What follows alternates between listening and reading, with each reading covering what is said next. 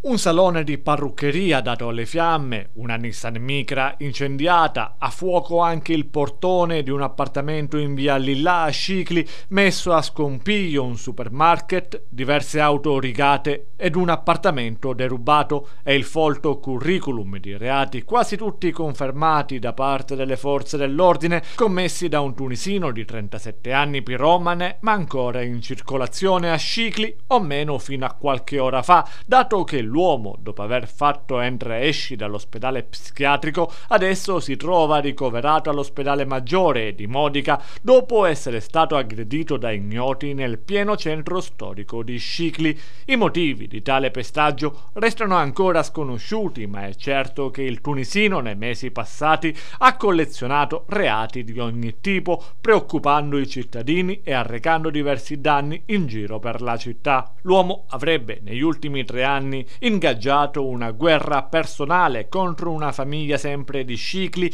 che lo avrebbe licenziato dalla ditta dove lavorava. Da quel momento il tunisino si sarebbe scagliato contro le sorelle con attentati piromani, prima contro il salone di parruccheria di una, poi contro l'auto dell'altra, attentati intimidatori, intervallati da momenti di paura, dato che non mancava di pedinare la famiglia, farsi trovare sempre sotto casa e impaurirla in ogni modo possibile. In un'altra circostanza l'uomo avrebbe appiccato il fuoco ai contatori Enel di un palazzo per poi andare a casa, cambiarsi d'abito e intercettato da alcune persone avrebbe detto di non ricordare nulla, neanche il proprio nome.